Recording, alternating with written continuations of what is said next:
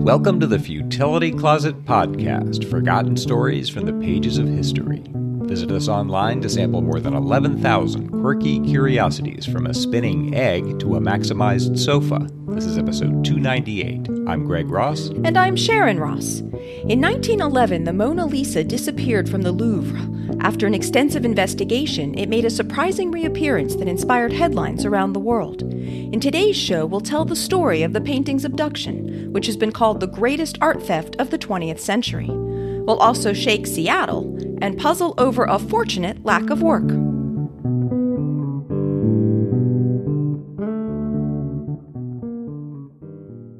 And just a quick programming note we'll be off next week, so we'll be back with a new episode on June 15th. On August 21st, 1911, the head of the maintenance department at the Louvre arrived at the museum at half past six. The museum was closed for cleaning as it was every Monday. He had arrived early to supervise some repairs. At 7:20, as he was passing through the Salon Carré with some colleagues, he pointed out the Mona Lisa as the most valuable picture in the world. When they passed through the gallery again at 8:35, the painting was no longer there. The press had a running joke that the museum was so badly organized and run that someday someone would make off with the Mona Lisa, so he joked to his colleagues, "They have taken it away for fear we would steal it." He didn't report the disappearance. Like everyone who noticed the painting's absence that day, he assumed that another worker had removed it for some good reason. Most likely, the museum's photographer had taken it to his studio. It was still missing at 9 a.m. the following morning when a painter, Louis Béraud, arrived and set up his easel. The museum had commissioned him to create a painting of the gallery, and he couldn't complete his work without the Mona Lisa. A guard told him it was being photographed, and Béraud asked him to retrieve it. The guard went to the photographer, who said he knew nothing about it. The guard notified the museum's acting head, who called the police, and a hundred officers descended on the museum. The loss immediately made a huge scandal. Crowds gathered outside the Louvre, but were told only that it would be closed that day. Late that afternoon, the acting head of the museum made a brief statement giving the particulars of the discovery. After an hour of searching in the sealed museum, detectives had found the painting's frame in a stairwell. He said, The frame had not been damaged. The thief or thieves seem to have taken their time, as the removal of the painting from its frame is not easy, and the frame is rather cumbersome. How he or they entered and exited remains a mystery.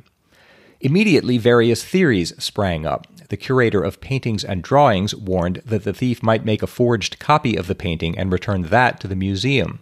The prefect of police suggested that Louvre employees themselves might have done it to express their discontent with the museum. And others suggested that perhaps a lunatic had stolen the painting or that the theft had been commissioned by a criminal art collector. The police interviewed hundreds of people, including all of the museum staff, but they got no promising leads. The Paris media had a field day highlighting the ineptitude of the museum and, through it, the conservative government, as well as the police department. One newspaper wondered whether it was all a practical joke, perhaps committed by a journalist seeking a sensational scoop, and it asked, How can a true thief possibly profit from having stolen a painting so universally known? That was a pertinent question. Most art thieves don't carry their booty back to secret lairs to gloat over in private. Much of the appeal of art collecting lies in advertising one's taste and resources. The Mona Lisa was not as famous in 1911 as it is today, but it was too famous to shop among prospective buyers without attracting attention. The museum was closed for a week while a more thorough investigation took place. The guards claimed not to have seen any package leave the building, so the museum was searched top to bottom to be sure the painting wasn't still on the premises. That was a big job. The museum occupied 49 acres and displayed half a million objects, with far more in storage. To see how quickly the painting might have been stolen, the investigators conducted experiments using a replica hung in its place. One person who was familiar with how the paintings were hung and who knew how to handle framed art got it out of the Salon Carré in six seconds. But a pair of men with no such knowledge required five minutes to get the framed painting free of the nails that supported it. That suggested that the thief had inside knowledge, but it didn't bring the police much closer to a recovery or an arrest. There was too little to go on. The investigators began even to consider museum visitors who had seemed especially passionate about the painting. The guards remembered one blond man who had been seen admiring it on several occasions in the weeks before its disappearance. Police distributed a description of him. Leads came in from all over the world, but none of them proved useful. The painting wasn't on a steamer on its way to South America. It hadn't entered Belgium on a freight train. A visitor to a Paris antiques shop had been overheard asking hesitantly whether the owner would be interested in buying an old portrait of a woman. That went nowhere. Two fortune tellers offered to help. One decided that the painting had been destroyed, and the other said that it had never left the museum but had been removed from the wall by a young man with thick hair, a long neck, and a raspy voice. By August 26th, the investigating magistrate had concluded that the painting had been removed from the Louvre almost certainly by a single thief. He had planned his work carefully and acted boldly. He'd almost certainly spent Sunday night in the museum, probably hiding in a certain hall, and then around 7:30 a.m. on August 21st he'd left his hiding place and moved into the Salon Carré. He removed the painting from its supports quickly and quietly, and then took it to a small service staircase that was known primarily to museum employees, where he removed the frame and left it in the staircase. Then he'd continued down the stairs, exited via the court of the Sphinx, and apparently passed a guard post at the Visconti court while the guard had gone for a glass of water. After that, he probably took the express train from Quai d'Orsay toward Bordeaux. It would be hard to trace him farther than that, as that train had made 14 stops on a nine hour journey. This was progress of a sort, but still they had no leads and no suspects. One newspaper suggested that a poster should be hung in all French museums that read, In the interest of art and for the safeguarding of the precious objects on display, the public is requested to be so kind as to wake the guards if they are found to be sleeping. Another showed Notre Dame with one tower missing, and the caption, Couldn't this happen next? The Louvre remained closed for a week. When it reopened, its most popular exhibit was the empty space where the Mona Lisa had hung. Before the theft, the painting had been well known. The scandal had made it the single most famous artwork in the world. By August 31st, when the police were no closer to a recovery or an arrest, a scapegoat was needed, so blame fell on Théophile Homolle, director of French National Museums and the head of the Louvre. He'd been on holiday when the theft had occurred. He was fired, along with the museum's head of security and a number of guards. The theft remained the talk of the media until the sinking of the Titanic captured the world's attention in April 1912. By that time, few people thought the painting would ever be seen again. But in November 1913, a Florentine art dealer named Alfredo Geri received a letter from an Italian in Paris who said he'd stolen the Mona Lisa from the Louvre. He said he wanted to return to his country one of the artworks that had been stolen during the Napoleonic era. He said he wouldn't ask for money, though he acknowledged that he was poor. The letter was signed only Leonard, apparently a reference to Leonardo da Vinci. The investigation was now two years old and had got nowhere. Geri almost threw away the letter, but he decided to show it to Giovanni Poggi, director of the Uffizi Gallery in Florence. Both of them were skeptical, but they decided to answer it. Geri wrote a reply saying that he was moved by the letter writer's patriotism and assuring him that he would outbid any other offer for the painting. But he said he and Poggi would have to examine it to be sure it was genuine and undamaged he asked the writer to bring it to Italy. They met at Geri's house in Florence on December 10th. Geri wrote later, that Wednesday, in the afternoon, a young man, thin, with a small black mustache, modestly dressed, appeared at my office and said he was the possessor of La Gioconda and invited me to accompany him to his hotel to see the picture. He answered all my questions with much assurance and told me he wanted 500,000 lira for his picture. That's about $650,000 today. I said I was prepared to pay this sum and invited him to return the next day at 3 p.m. At 3 the next day, Geri and Poggi accompanied the young man to his room on the third floor of the Hotel Tripoli Italia. Geri wrote, He locked the door and drew out from under his bed a trunk made of white wood that was full of wretched objects broken shoes, a mangled hat, a pair of pliers, plastering tools, a smock, some paint brushes, and even a mandolin. He threw them onto the floor in the middle of the room. Then, from under a false bottom in the trunk, he took out an object wrapped in red silk. We placed it on the bed, and to our astonished eyes, the divine Gioconda appeared, intact and marvelously preserved. They took it to the window to compare it with a photograph they'd brought. It appeared to be the real Mona Lisa. The catalog number and stamp on its back matched their photo. Geri and Poggi promised the man that he would get a generous reward, and Poggi asked whether they might take the painting to the Uffizi to verify its authenticity. Leonard agreed and wrapped it up again. When a scholar at the museum confirmed the painting's identity, they phoned the Minister of Public Instruction in Rome, who called Paris. At the hotel, Leonard was putting away his trunk when there was a knock at the door, and he opened it to discover the police chief of Florence flanked by two detectives. He was surprised but offered no resistance, and they arrested him. At the police station, he said that his real name was Vincenzo Peruggia and that he'd been born in Dumenza near Milan. He was a house painter by trade and he'd worked as a handyman at the Louvre. He acknowledged the theft honestly and proudly and said that his only motive had been to right a historic wrong and return the painting to Italy. In this, he was simply mistaken. Napoleon hadn't taken the painting from Italy. Leonardo had brought it with him when he moved to France in the 16th century to become a painter in the court of Francis I. Peruggia had thought that in stealing back the painting, he would be greeted in Italy as a national hero, and he seems to have been genuinely dismayed that he wasn't. In Paris, at first they refused to believe that the painting had been found. It had been gone for two years now, and there had been many false alarms. One curator, notified at dinner, said, No, no, no, such things no longer take place, and hung up the phone. It was only when the recovery was reported in the newspapers that it began to seem real. The public rejoiced at the restoration of the lost treasure, and the French ambassador in Rome thanked the Italian prime minister personally. The minister of public instruction announced formally, the Mona Lisa will be delivered to the French ambassador with a solemnity worthy of Leonardo da Vinci and a spirit of happiness worthy of Mona Lisa's smile. Although the masterpiece is dear to all Italians as one of the best productions of the genius of their race, we will willingly return it to its foster country, which has regretted its loss so bitterly, as a pledge of friendship and brotherhood between the two great Latin nations. After the extensive investigation, Peruggia's account of the actual theft was almost embarrassingly straightforward. In his work for the museum, he'd been asked in October 1910 to build a glass case to protect the Mona Lisa from vandalism. He had grown angry contemplating the great painting on display so far from its home and resolved to return it to Italy. His job gave him a uniform and access to the service corridors, workshops, and stairwells of the Louvre.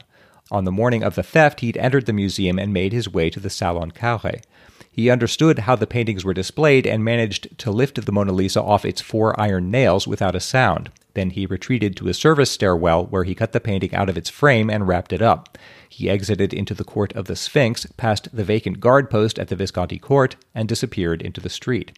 The crime was so simple that art historian Noah Charney calls the investigation a marvel of ineptitude. The police had interviewed Peruggia at least twice during their inquiry and had raised no suspicions. The crime had been solved only when the criminal had turned himself in. Despite his confusion about the painting's history, Peruggia briefly became a folk hero in Italy. People offered large sums of money to the Florence police for items of his clothing, his mandolin, even used paintbrushes. When the painting was put on display in the city, it drew 30,000 people on the first day, and the hotel where Peruggia had first stayed changed its name to Hotel La Gioconda. The Mona Lisa visited Rome and Milan, inspiring similar transports, before it returned to Paris on a train car guarded by 20 policemen. On January 4th, it was back in its accustomed place in the Louvre, though now guarded more closely. At the trial, the main question was Peruggia's motivation. Had he been trying to right a historical wrong or only to profit?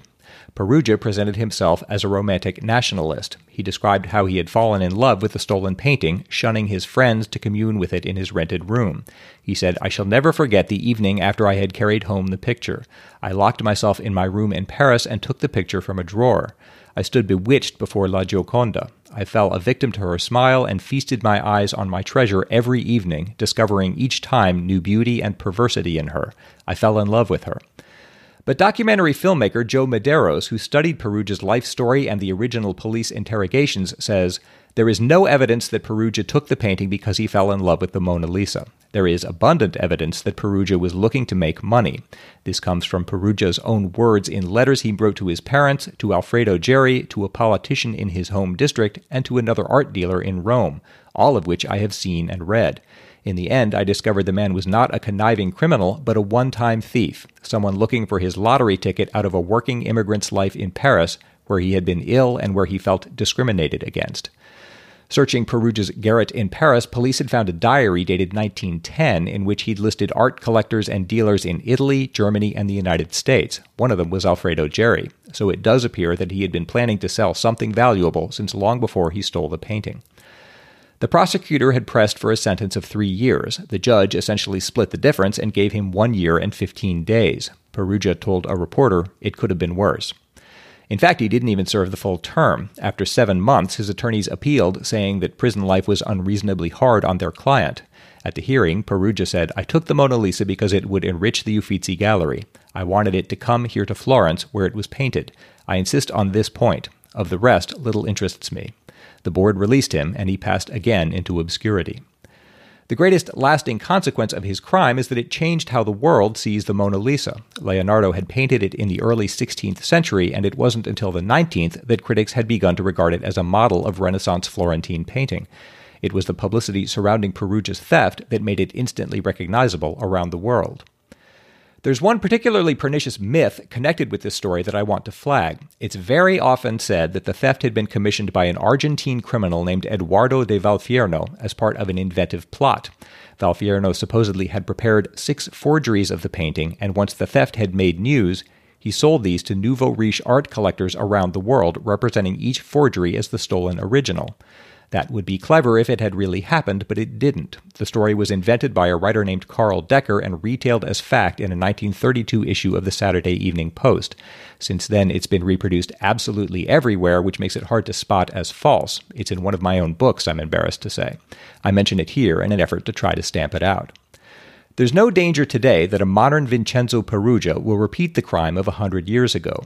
The Mona Lisa remains on display to visitors at the Louvre, but today she regards her admirers from a distance through a bulletproof barrier, a memorial, in a way, to Peruggia's theft. Former FBI agent Robert K. Wittman says you have to stay behind a stanchion, and the painting has a plexiglass case over it, limiting the viewing experience. Anytime you display an artwork or a valuable, be it Mona or the Liberty Bell, you run a risk.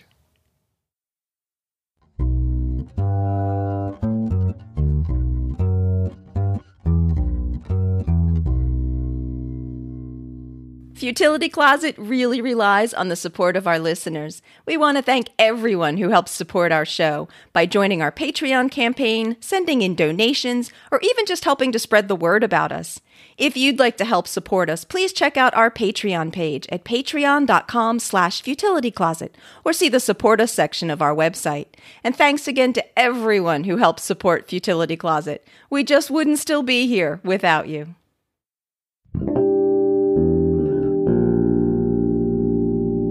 The main story in episode 292 was about Henry Ford's attempt to build a rubber tree plantation in the Amazon rainforest. Ian Bruce wrote, Hello, futilitarians. I'm a little behind as I only listen to podcasts in the car, and well, I'm not in the car as much lately for some reason.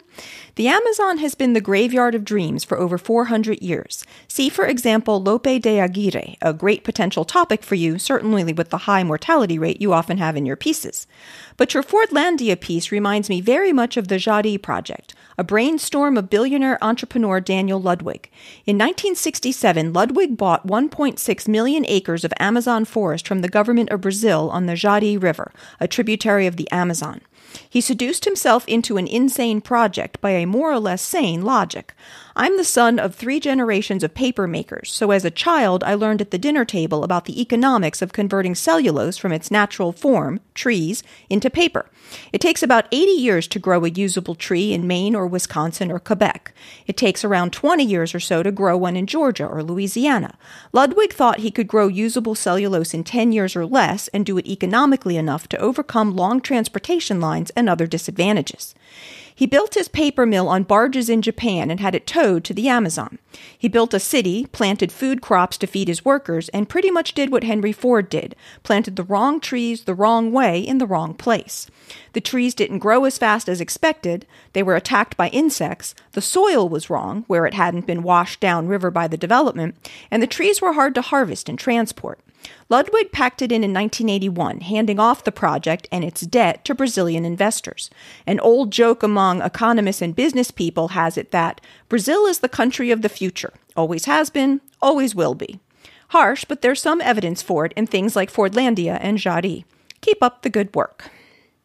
So, Daniel K. Ludwig was a self made American billionaire who left school after the eighth grade and managed to parlay a $5,000 loan he got when he was 19 into an international shipping and real estate empire. In 1967, Ludwig bought an area of the Amazon rainforest that was larger than the state of Connecticut for $3 million, or about $23 million today. And while growing trees for cellulose had been the initial impetus for the project, in the end he spent over a billion dollars constructing an industrial, mining, forestry, and agricultural complex to produce a variety of products, including paper, clay, aluminum, rice, and beef. Like Ford, Ludwig constructed modern settlements in the Amazon, including hospitals, schools, roads, supermarkets, electricity phone lines, and piped water, plus a railroad and airports. And as Ian noted, he floated a 17 story pulp mill around the world from Japan. The Jari project was ultimately such a disaster for Ludwig that it said that he transferred ownership of it in 1982 for no money and even offered a bonus of $20 million to whoever would take it and its massive debt off of his hands.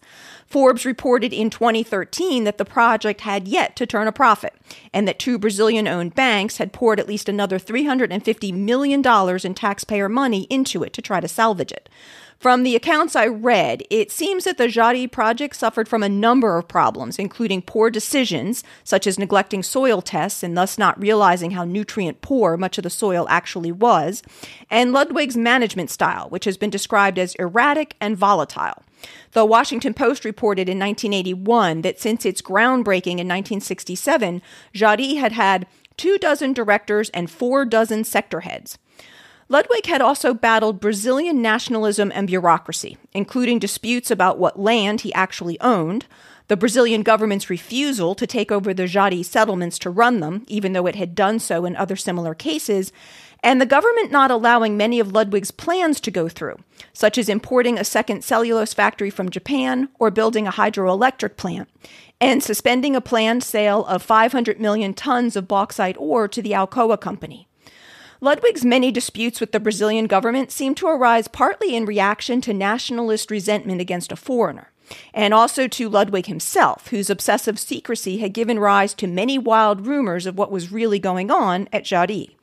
The UPI reported in 1982 that the sort of suspicions that dogged Ludwig were reflected in the comment of one high Brazilian official who said, I don't trust Daniel Ludwig because he is a ship owner, and all ship owners are descendants of pirates. Hard to argue with that. Aaron Noxon wrote about the puzzle in episode 292, and this will include a spoiler. Hi, Sharon and Greg. First of all, thanks for putting out this interesting podcast that I have been using to fill time while isolating recently. Episode 292 featured a puzzle about fans at a concert causing an earthquake. I was reminded of the Seattle Seahawks American football team who are famous for similar events, notably during the Beast Mode run by Marshawn Lynch in 2011. Interestingly, while the concert fans sound like they were encouraged to jump up and down, this one seems to be more natural, as it were. Here's a link that references it. As for pronouncing my name, I make a game of forcing people to struggle with my family name. Through my whole childhood, I don't think I ever had a teacher get it right on the first try, so I would just accept that somewhere in the middle of the alphabet, the teacher would struggle and I'd raise my hand. That's what happens when an old name goes through at least three different languages in two different language families. So basically, give it your best shot. But if you really want to pronounce it the way I do, I'll write it in IPA for you at the bottom of the email. Thanks again for the always interesting podcast. So, definitely thanks for the International Phonetic Alphabet Guide to your name, Aaron. I'm truly not crazy about having to just make a wild guess on how to pronounce names. Sometimes there really is just no telling how to pronounce them correctly, so I do feel for your teachers. As for the story that Aaron sent, that was pretty amusing. In 2011, Seattle Seahawks running back Marshawn Beast Mode Lynch made a stunning 67 yard touchdown run that clinched a playoff victory for the Seahawks over the reigning Super Bowl champions, the New Orleans Saints. The jubilant Seahawks fans jumped up and down and stomped their feet so much that they generated enough seismic energy that the vibrations were actually recorded a block or so away at a station of the Pacific Northwest Seismic Network or PNSN. This event, known as the Beast Quake, actually prompted seismologists to start setting up equipment in and near the stadium in advance of Seahawk games in order to record the vibrations caused by the fans. Besides the interest of the public in seeing these seismic readings, which are basically visual representations of the fans' excitement, this practice also allowed for practical lessons for the seismologists, such as testing new software and training in, for example, rapid instrument installation that could be helpful in the event of an actual earthquake. From what I found, these seismic readings from Seattle sporting events were still taking place at least into 2019. And as of 2017, it seemed that the beastquake still reigned for the most shaking that had occurred during a football game. It was noted in a 2015 article that the Seattle Sounders soccer fans wanted seismic measurements made of their games too, as they thought that they would likely top the Seahawk fans. And it looks like they did get a chance to put that theory to the test in 2019 when sensors were placed for a Sounders game, and a member of the PNSN team posted, while American football and soccer are very different sports, the fan enthusiasm for each turns out to be quite comparable from a seismic point of view. Seahawk touchdowns and Sounder goals generated shaking of roughly the same levels, though touchdowns had a longer build-up, since a long touchdown run could last for several tens of seconds, and a soccer goal can occur suddenly without much build-up. It appears that this whole fan quake phenomenon has been known about for some time, as the PNSN Post mentions that there are numerous examples of fan generated vibrations being picked up by seismographs for both American football and real football, or soccer, with one of the earliest known reported cases being the Gol del Terremoto, or earthquake goal in Argentina in 1992. The Post also says, one of the most unusual reports was from Cameroon in 2006, when widely distributed, very sensitive research seismographs showed slight wiggles all at the same time as important goals were scored by the national team. In this case, it was attributed to people all over the country watching the match on TV who jumped up and down all at the same time. That's really interesting. And they're right, too. It's sort of in that game, the, the goals can be quite unexpected or Sure. sudden, so you think you'd get a, A a burst, stronger yeah. Thanks so much to everyone who writes to us. Your comments and follow ups add so much to our show.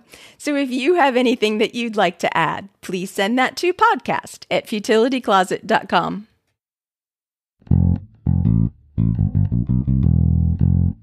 It's Greg's turn to try to solve a lateral thinking puzzle. I'm going to give him an odd sounding situation, and he has to figure out what's going on, asking yes or no questions.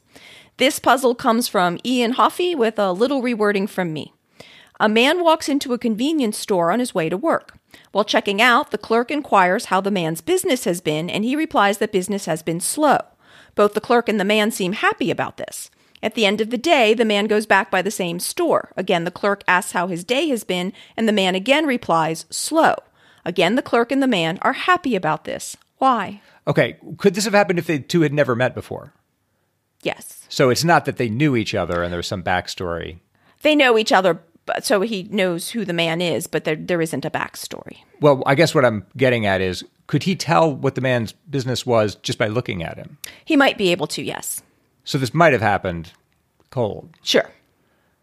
Okay. By slow, most people would mean that there's not a lot of activity. Is that what's meant here? Yes. That's not some clever No. use of the word slow. No. He raises turtles. it's, Right. like- it's very slow. Good. Um, okay. Does it does it matter that this happens in a convenience store? Not necessarily. So it's just this guy has a, an I guess, unusual occupation, and he meets someone who asks him how business is, or who, yeah, and he says slow. Yes. And they're both happy about it. Both the clerk and the man are happy. The clerk is happy as well. The as clerk the is happy to hear that business is slow. happy for the man, Happy in general. but not happy for his own sake as a convenience store clerk. Would you say? Yeah, I'd say that's correct. Okay.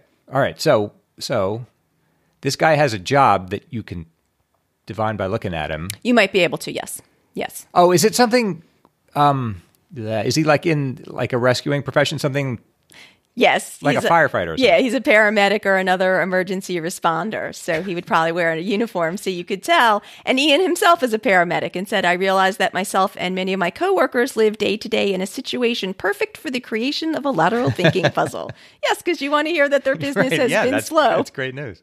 So thanks so much to Ian for helping to save lives in both the puzzle and in real life. And if anyone else has a puzzle they'd like to have us try, please send it to us at podcast at futilitycloset.com. Just a reminder that we'll be off next week. In the meantime, if you'd like to become one of our awesome supporters of our show and check out some bonus content like outtakes, extra lateral thinking puzzles, more discussions on some of the stories, and peeks behind the scenes, please see our Patreon page at patreon.com slash futilitycloset or the support us section of the website at futilitycloset.com. While you're at the site, you can also graze through Greg's collection of over 11,000 quirky curiosities, browse the Futility Closet store, learn about the Futility Closet books, and see the show notes for the podcast with links and references for the topics we've covered. If you have any comments or feedback for us, you can always email us at podcast at futilitycloset.com. Our music was written and performed by Greg's amazing brother, Doug Ross. Thanks for listening, and we'll be back in two weeks.